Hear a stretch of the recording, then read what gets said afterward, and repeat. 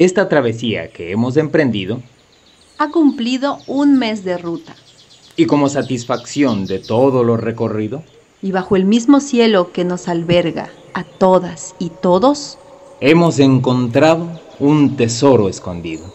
más valioso en su estado natural.